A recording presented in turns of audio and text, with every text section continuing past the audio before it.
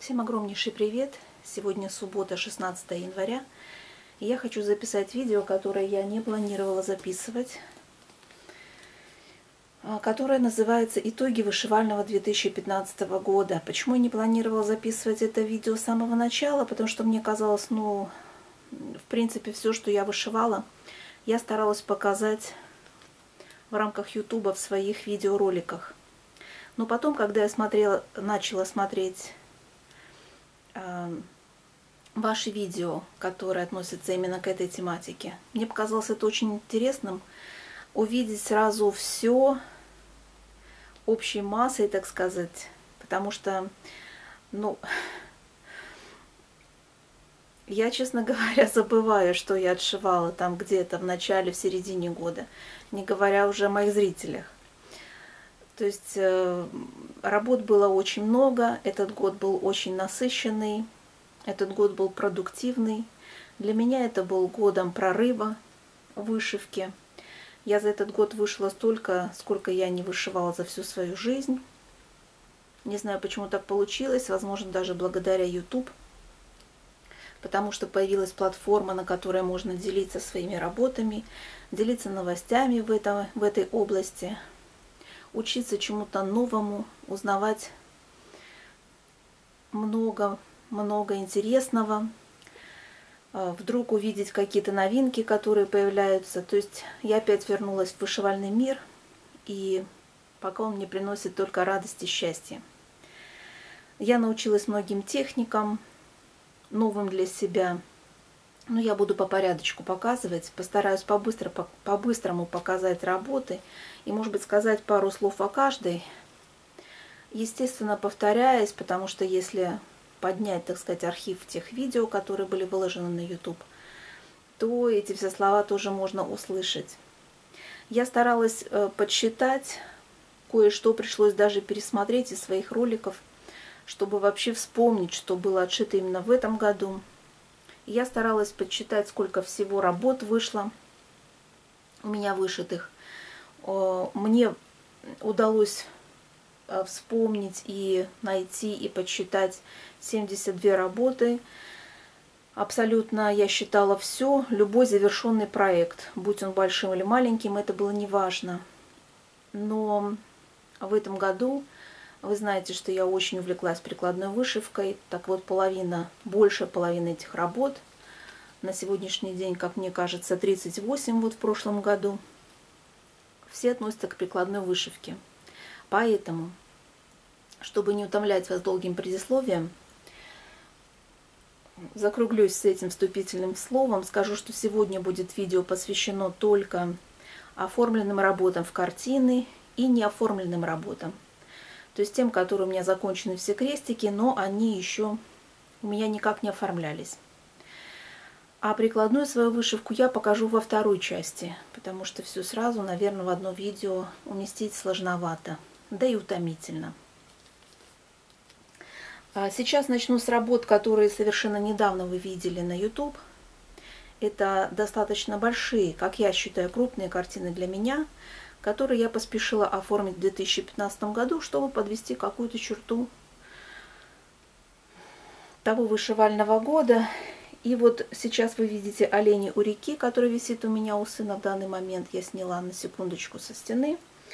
Э, эта картина чем была интересна? Э, этот набор от Панны. И на этой картине я училась делать black work.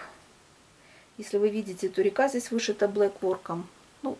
Впрочем, если вы наблюдали за отшивом и смотрели ролики прошлого года, то наверняка помните. Следующая картина, которая у меня тоже оформилась в 2015, это «Живи с отрывом».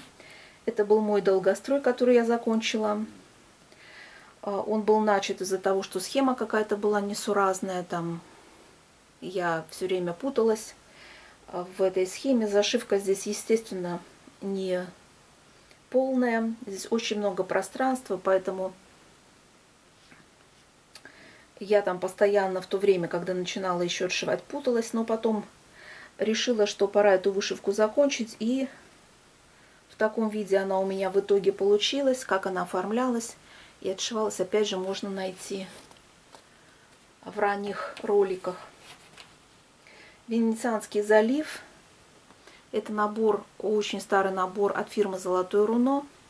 Здесь тоже был мой долгострой. Я пыталась его отшивать, но был заброшен. И вот сейчас только в прошлом году он отшился.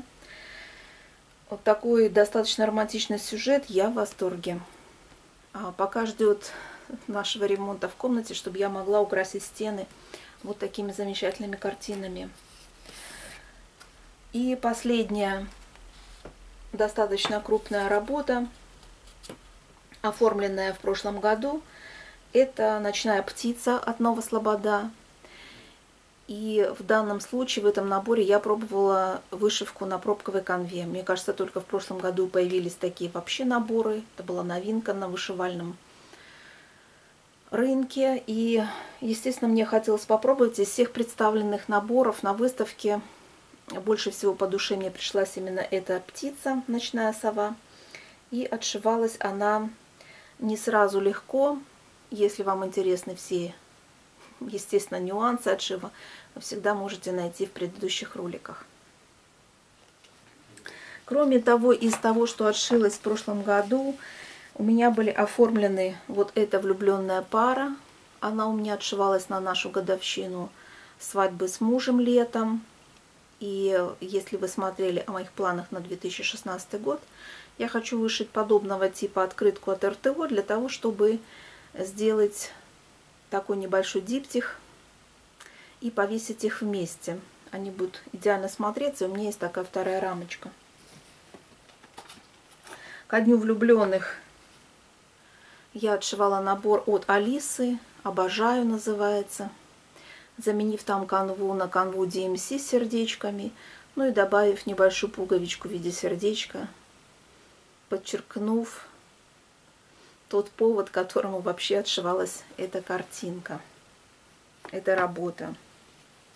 Из последних работ, которые у меня а, были вышиты и пытаются быть оформленными, это вот этот рукодельный хомяк – я его пока отложила на время, на декабрьское зимнее время, так как э, все время было занято отшивом новогодних игрушек и других прикладных вещей как раз к Новому году. Хотелось побольше чего-то такого явить на свет. И этот хомяк был отложен на какое-то... Ну, я думаю, что в данном случае уже нужно вернуться к нему, не хочу сказать неопределенное время, отложен на какое-то время.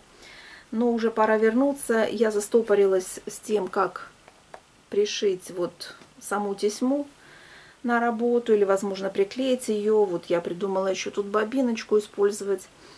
И еще нужно попробовать приложить вот те шармики, которые я показывала в своих покупках. Там ножнички и еще что-то. Я нашла такие шармики на рукодельную тематику, которые сюда вполне подойдут. Но сама вышивка закончена полностью, так что я считаю это работой 2015 года практически оформленной. Теперь покажу то, что у меня было вышито, но и оформлено, но то, что я не, смог, не могу вам показать, так как это было подарком. Я вышивала такой оберег своему другу на 50-летие оформляла его в багет, и успешно, конечно, этот оберег был подарен. Именной оберег, и в планах я буду вышивать оберег его жене. Об этом я уже говорила. Вот эта история с часами. Опять же, я упоминала в каком-то видео, что мне не удалось оформить эти часы. Они вышились очень быстро. Это набор от РТО. У них есть такого же типа набор с девочкой и птицей какой-то, по-моему, девочка с гусем, что ли. Но, честно говоря, из этих двух мне нравится больше вот с этим шутом. Он больше такой целостный, что ли. А, и этот набор, судьба этого набора осталась мне неизвестной, потому что я его потеряла, когда носила с собой, ища рамочку для оформления этих часов. Вот не знаю, куда делся, поэтому придется отшивать совершенно другие часы.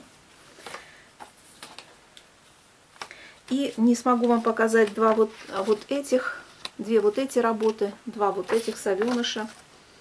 Какой удивительный мир и листопад. Вот эти две работы от РТО. Так как у меня они в оформлении, в принципе, здесь закончены все крестики. И поэтому я считаю эти работы завершенными. Но сейчас они у меня в оформлении, поэтому я не могу показывать. Ну вот, это пока что не на все увидение, на все услышание. Но поскольку крестики были закончены, я считаю, что эти работы тоже работами 2015 года. Далее я буду показывать работы не в хронологической последовательности, а так как вот у меня сейчас они легли. Я что-то пыталась вначале их как-то там уложить в том виде, как я вышивала, но вы знаете, что я вышиваю сразу несколько работ сразу, и у меня не получается, то есть я не знаю, а потом что-то вдруг забывается, вспоминается. Да я думаю, что это вообще не суть важно. А, из новогодних проектов, которые все-таки не получили завершение в этом году, но отшивались в этом, у меня остались вот этот снеговичок. Это схема парижских вышивальщиц. Я вышивала на конве с люрексом. Он у меня тоже как-то никак не оформился. Планировала пинкип, но... Нет, планировала я вначале мешочек. Потом для мешочка мне показалось, что он достаточно маленький. Хотела переделать в пинкип. Ну, в общем, мысль, наверное, на этом и заглохла. И вот эта елочка, если вы помните, вышивалась на металлизированной нитью, но тоже осталась не оформленной. Как-то ничего к ней не подошло. Пыталась приложить ткани. Вот буду делать, поскольку я планирую не только такие зелено-красные декорации к новому следующему году, но и в бело-синих тонах, Э, для того, чтобы они поддерживали тут новогодний сапожок. Но о нем в следующем видео, потому что это прикладная вышивка. Кроме того, вышиты были вот эти гуси, называется «Снежный друг» от «Милый вождь».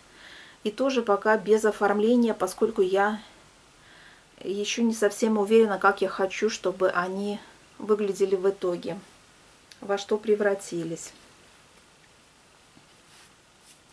От РТУ я вышивала девушку в голубом. Тоже для, в пару к девушке в красном. Но девушка в красном ушла в оформление в сумочку. Покажу в следующем видео. А девочка в голубом так пока еще не оформилась.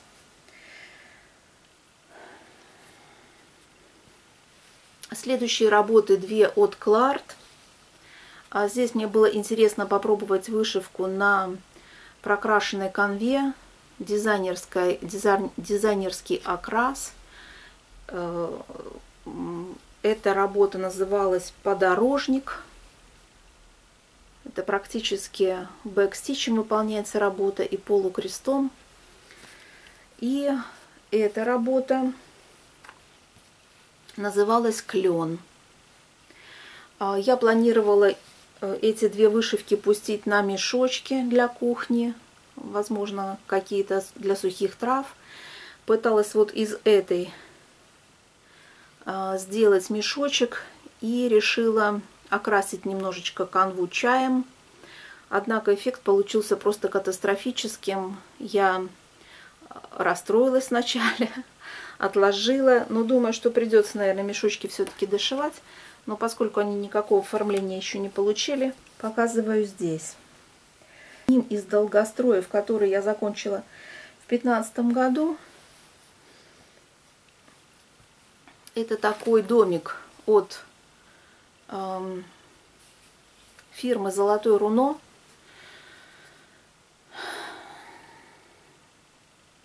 Мне кажется, такие уже наборы не продаются. Это из очень старых запасов, и я очень-очень давно начинала его отшивать.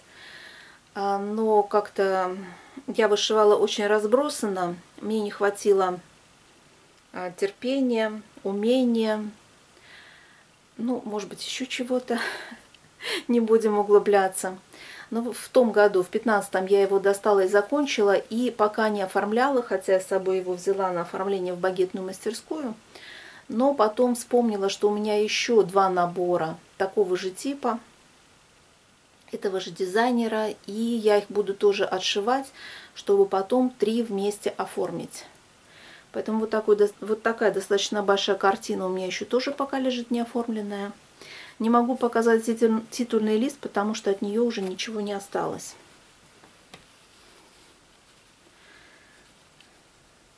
Так. Далее у меня пошли миниатюрки. Целая коллекция миниатюрок. Бор был куплен на выставке. Дизайн Дарья Ушакова.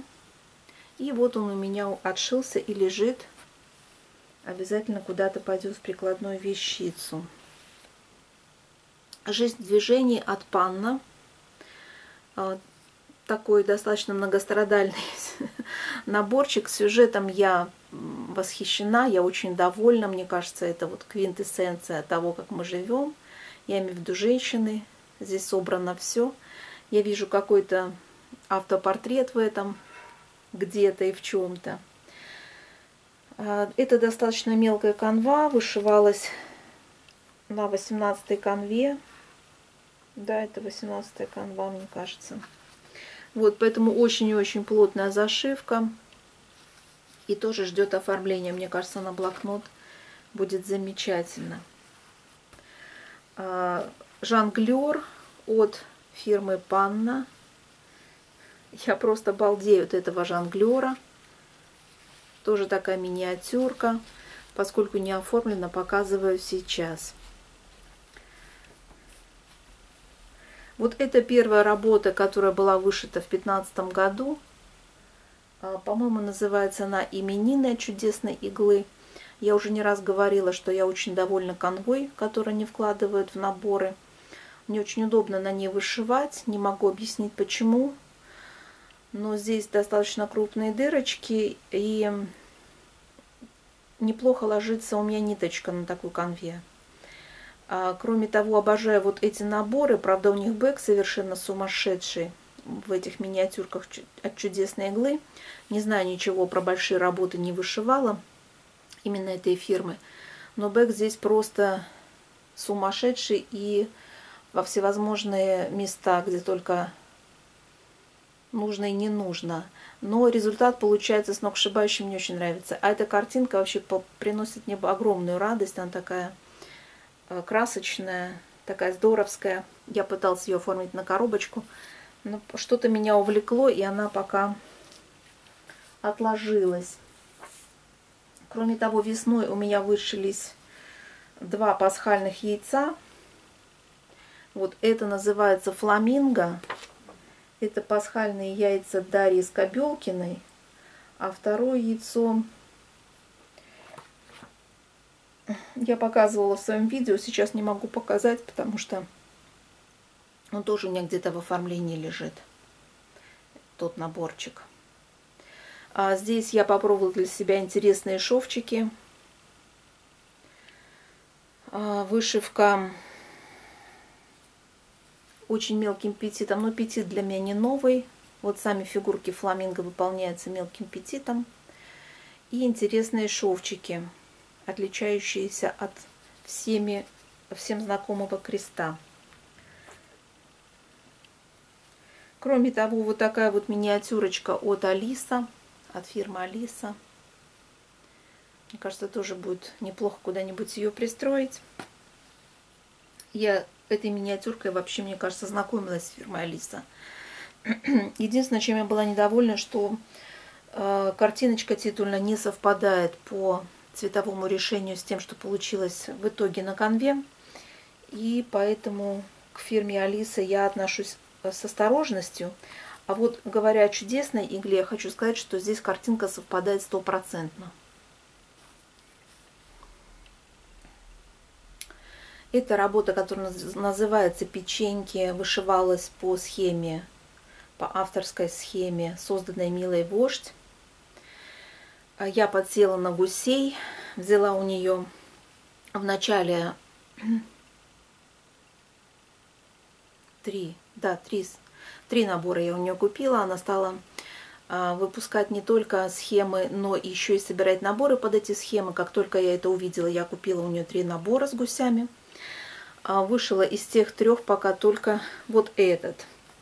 А, снежный друг тоже от Милый Вождь, но а, тот уже был куплен на выставке позже, зимой. Какое-то время назад, весной, я была просто в восторге от этих зайцев.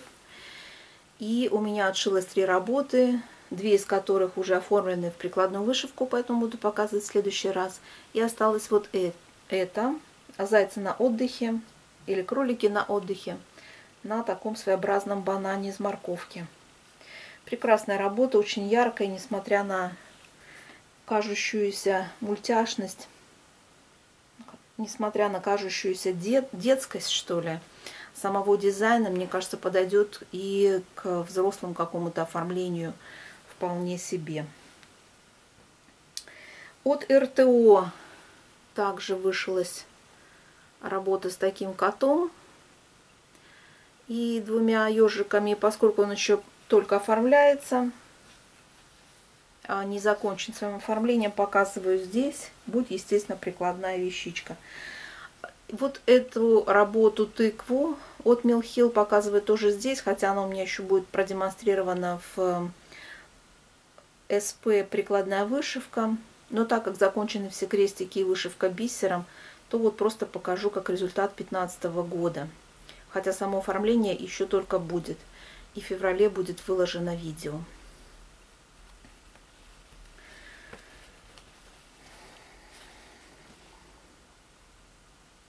А в начале весны, да, где-то в начале, в середине весны отшивался вот этот оберег на даче. А дальше пошли у меня, как я вижу, дачные работы. Вот этот оберег на даче, что-то было здесь э, в квартире, что-то было на даче. А, поскольку вышивается все одной ниткой, не нужно никакой сложной организации, вот оно все и отшивалось пока не оформлен лежит, так как я не вижу, каким образом я хочу его оформлять. Но самое главное, что сама вышивка закончена. Дальше пошла фруктово-ягодная тема, которую я буду продолжать а, в следующем году. Вот в этом году я имею в виду дачном году. Ежевика атриоли с шерстью. Красная смородина тоже атриолисы, тоже шерстью. Ну, чудесные ягоды. Можно смотреть бесконечно. Клубника, тоже атриолис с шерстью.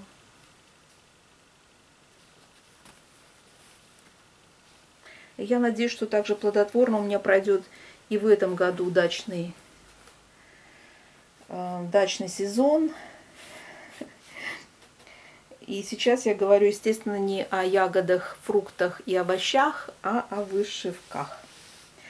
Вот, и напоследок я хочу показать вот эту работу. Вот тоже у меня, можно считать, работой долгостроем. У меня было она начата, но начата совершенно-совершенно немного. Только вот этого зеленого фона было чуть-чуть, уголочек. И я ее решила дошивать в 2015 году. И вот я ее добила. Это э, золотое руно. Если мне не изменяет память, называется серия фонарики и работа золотые рыбки. По-моему, так. Здесь мне было интересно по попробовать красную канву. Я ее ради этого и покупала. Но в интерьер эта работа у меня пока не вписывается. Лежит доделанный, но не оформленный. А, если я ничего не забыла, а могла забыть, ну что поделаешь, память с годами не улучшается. Может быть, надо глицинчику попить или еще что-то в этом роде.